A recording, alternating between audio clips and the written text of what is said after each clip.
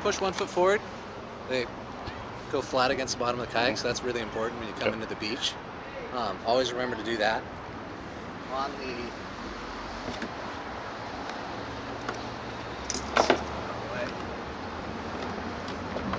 So they click in, Yep. just kind of move it around until it clicks, um, and it's locked. Yep. You don't need to do anything. A lot of people think that's locking it. That's unlocking it. Now they come out. So they call it the click and go system because it clicks in and you're ready to go. Okay. Now these are together, so they're sticking straight down. Mhm. Push one foot forward, and now it's flat against the bottom of the kayak. Uh, and this little hook right here, that's Keep important. That'll keep it up Yeah. because they'll want to go back down. Mhm. Uh, so yeah, that hook's important. Now to adjust for like uh, height, seven's the tallest. Uh, so you'll squeeze that, that pin comes out. Move it closer, further away, and you want them both on the same number. Uh, unless one of your legs is longer.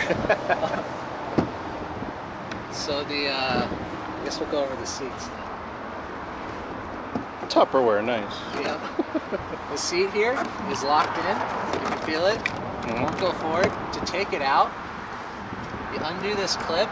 Now, it doesn't come out straight up. It comes out when you at it, when it's when you lean it forward at an angle.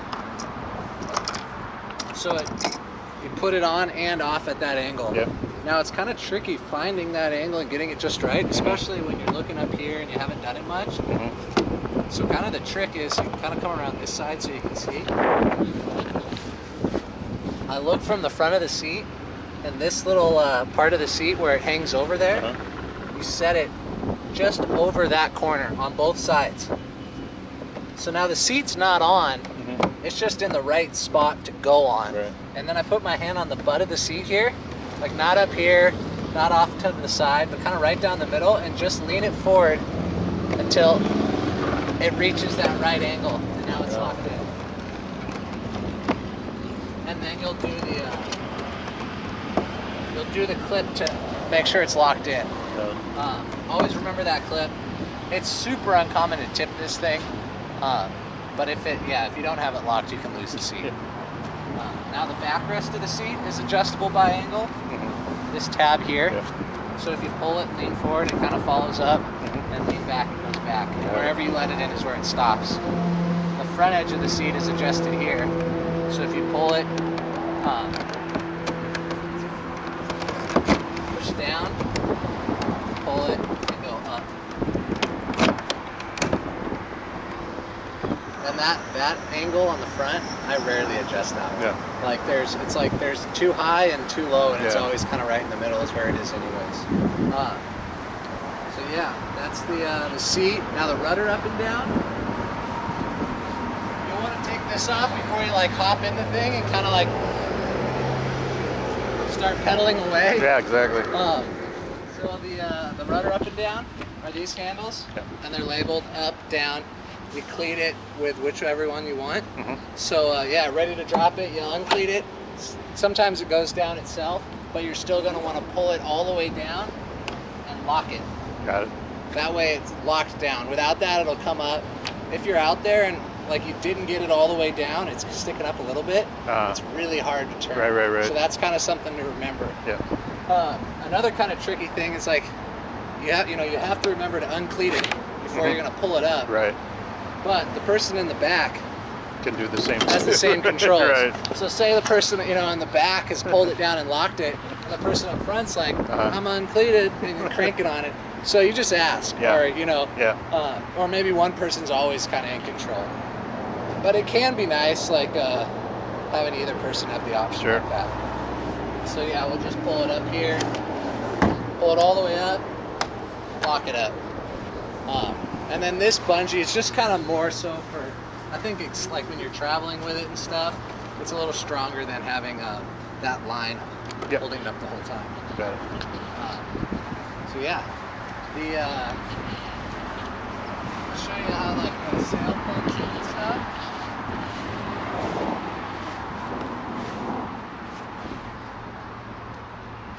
If you could just grab that end of it, I'll, I'll slide it right out.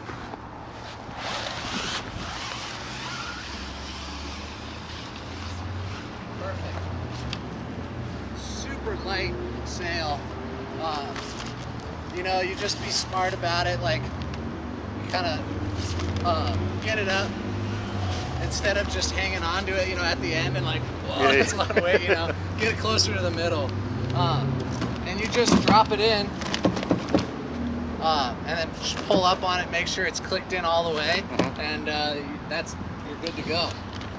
This uh, yellow line, the furler control line, goes Uh-huh. here. Tie a little knot so it can't loosen itself all the way. Now, basically, like this yellow line and the sail are always like opposites. So when the sail's unrolled, the yellow line's all rolled up. So then when the sail's rolled up, this is all out. Mhm. And I'll show you. So we've got the main sheet right here.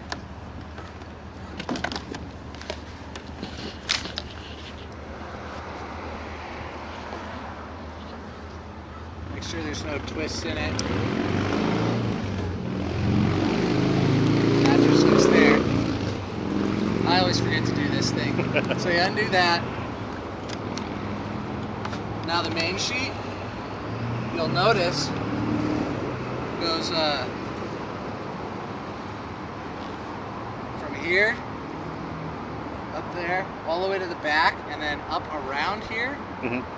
to the back again, up, and then comes out here. So Oh. this is the same line. Okay. So if they're both uncleated, Uh huh. it doesn't actually, it just feeds through.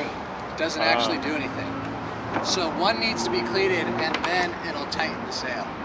Okay. Uh, so you want to open up the sail, you'll uncleat the furler control line,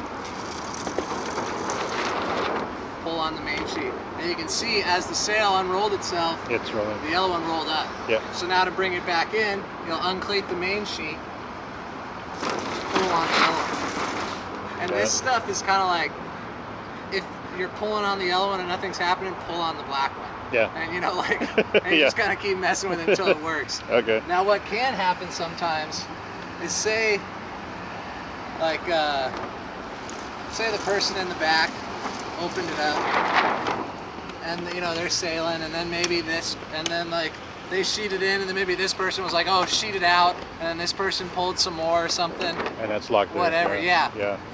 Now, when you're ready to pull it back in, say this person's like, all right, we'll uncleat it and pull in the yellow one. You like bottom out, Ah, and you just need to let out more. So then the person up front does. And um, it's pretty common to have some of it left over Okay. uh, because the way it rolls up, Uh huh. it uh, it just goes by a number of spins. So when I just rolled it in, it rolled up really tight. Uh-huh. So it went around the same amount of times, but there's still some left over. So you can you can kind of do it by hand or wrap it. Oh, okay. This isn't gonna do much. So yeah, the uh, asides from the sail and both people having controls of that, uh, like what also will happen sometimes while you're sailing. Maybe one person will end up with way more of the main sheet than the other one, Mhm. so you can kind of unclean them both and kind of even it out. Ah, I got it. Uh, that's pretty cool. Now the, uh, the center board's right here. Mhm. Uh, when you, if you hop on the thing, go out the first time and start sailing, and you're like, we're just sliding sideways. You just remember to pull up on that. I can't do it now because it's on the dolly, and you just pull it back, Okay. and that drops the center board down, Okay. and uh, you'll start sailing faster and actually start going straighter. Okay. But yeah, as you're coming into the beach, you just kind of remember the things that are sticking out down below you, No which would be the two pedals, Right. the uh, center board, And the red. and the rudder. Now Yeah. the uh, the center board, if you run aground, it'll come up. Automatically. Yeah, and the rudder usually, if the bow touches, like you'll run ashore, it's going to be deep enough for that still. So Uh-huh. that's not as important either. I see But- some scratches on there. Yeah. The, uh, but the pedals are, yeah, what happened along to you know, sometimes I'm like, you don't need to worry about it, and then they'll get out, and then we'll turn it around Right. and stuff, whatever. Um, but the pedals are the ones you really Right. want uh, Protect. pay mind to. Yeah. Yeah. And another thing people will do is they're coming in, like getting close to the launch ramp, and they're like, we got to get this rudder up, and they'll pull it up, and then just kind of like start drifting sideways and we're like, oh no, we got no control. Exactly. So the rudder's the last one I do. Right, right. Um, when you're pedaling, this doesn't do anything. So as soon as you stop sailing, you can pull that up, have the sail rolled up, and pedal into the beach. Mm, Even have one person one foot forward with the bungee hook, and then just one person pedals up. Yeah. You know, you just take it slow. That's what's Sure. cool about this is you know you can do it. You can hop in the thing and you know paddle away or pedal out, and then get out into the open and then open the sail and do all that stuff. Right. Um, instead of you know sometimes like people will hop on the thing and I'll be like just pedal out, get out into the open and then open the sail. They open the sail right away, and they're like sails open and like forgot to put the rudder down or like Uh-huh. rudder's not all the way down and they're like they're stressing out about all the boats are around them. So you don't need to like rush it like that. Right. You just take your time and Right. you'll have no issues. And then after you've done it just a few times, it's Yeah. just like it's so Second nature. easy, Yeah. Uh, so yeah, let's see. I, I, oh yeah, swinging the arms in and out and taking them apart. Um, swing out super easy like that, and they'll go all the way forward or back. Right. And this piece right here goes onto this knob Yep. kind of pushing on the end of it and it goes right over. Now what'll happen, especially if you're like sitting in it and trying to swing it in and out or something, you'll be you'll be looking here and you're like it doesn't fit and then all of a sudden it swings way past and Oh, you're yeah. like I can't get it. so it's kind of easy just to make sure this is straight Right. and then it should pretty much line up right around there. So that's what I look at. Um, and it clips on there. You'll notice this pin right here is a little like plastic one that looks like it's gonna break. Mhm. It's supposed to break. Yeah. It's like a shear pin.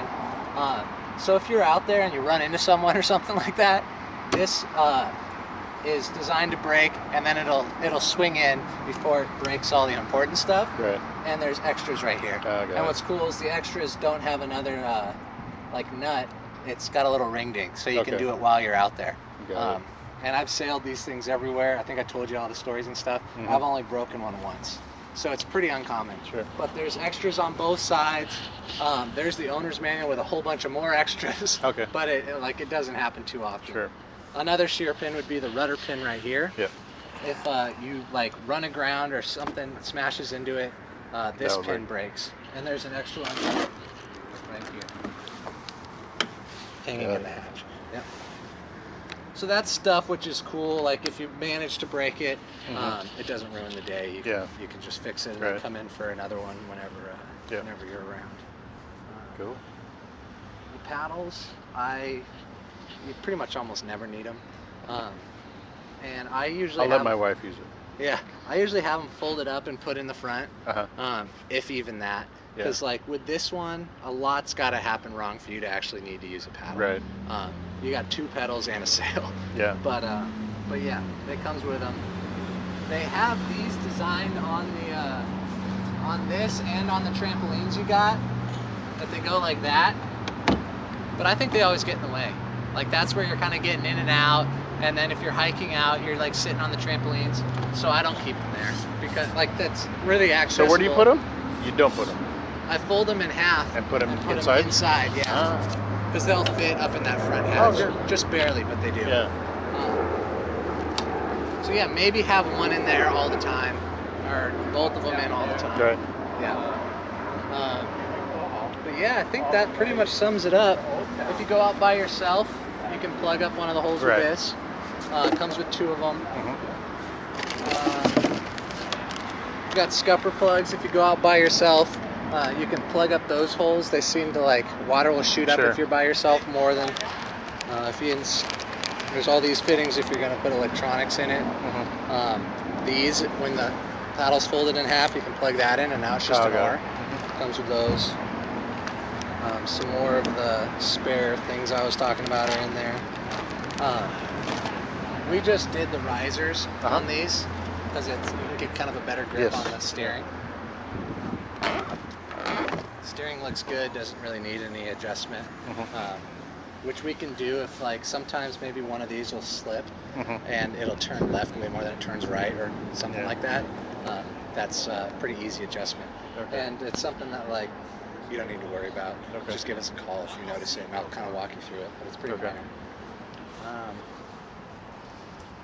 yeah, I think that ought to do it, and then we'll just take the thing apart, and I'll show you the the technique of getting it on top of the car. Okay. So yeah, I think you can move the car now. Just back it up right here, Okay. and then uh, we'll just load from the garage straight up on top of the car. Perfect. Sweet.